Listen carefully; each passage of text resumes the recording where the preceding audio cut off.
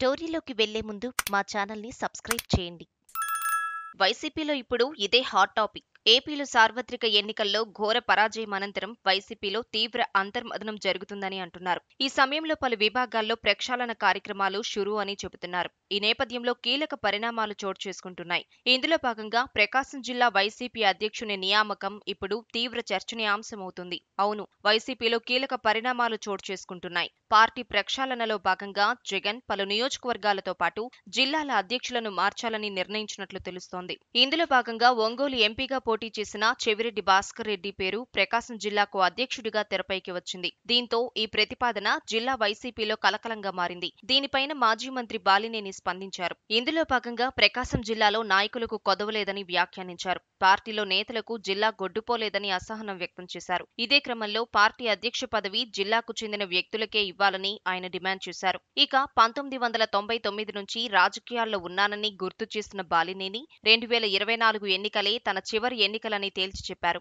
తాను ఏం తప్పు చేశానో తెలియదని ప్రజలు ఇతరులకు పట్టం కట్టారని వ్యాఖ్యానించారు. ఫలితాల తర్వాత మనస్తాపంతో హైదరాబాద్ వెళ్ళిపోయానని చెప్పుకొచ్చారు. వైసీపీ కార్యకర్తలను కొట్టి తప్పుడు కేసులు పెడుతున్నారని దమ్ము ధైర్యం ఉంటే తనను ఎదుర్కోవాలని సవాల్ చేశారు. ఇదే సమయంలో తాను జనసేనలోకి వెళ్తున్నట్లు జరుగుతున్న ప్రచారంలో వాస్తవం లేదని చెబుతూ అసలు తానెందుకు జనసేనలోకి వెళ్ళాలని ఎదురు ప్రశ్నించారు. ఇక తాను మంత్రిగా ఉండగా హవాలా మంత్రి అని ప్రచారం చేశారని చెప్పిన బాలినేని శ్రీనివాస్ దమ్ముంటే నిరూపించాలని సవాల్ చేశారు. తాను అవినీతికి పాల్పడినట్లు నిరూపిస్తే ఇక్కడే ఉరేసుకుని చేస్తానంటూ సంచలన వ్యాఖ్యలు చేశారు. తాను అవినీతికి పాల్పడితే చంద్రబాబు పవన్ కళ్యాణ్లు స్వయంగా విచారణ జరిపించవచ్చని తెలిపారు. కాగా చెవిరెడ్డికి ఒంగోలు ఎంపీ టికెట్ ఇచ్చినప్పుడే బాలినేని శ్రీనివాస్ రెడ్డి అసంతృప్తి వ్యక్తం చేశారనేది తెలిసిన సంగతే. అయితే చివరకు అధిష్టానం ఉజ్జగించడంతో ఆయన నాడు వెనక్కి తగ్గారు. అయితే ప్రస్తుతం జిల్లా అధ్యక్షుడి నియామకం విషయంలో మాత్రం రాజీపడే ప్రసక్తే లేదని అన్నట్లు తెలుస్తోంది.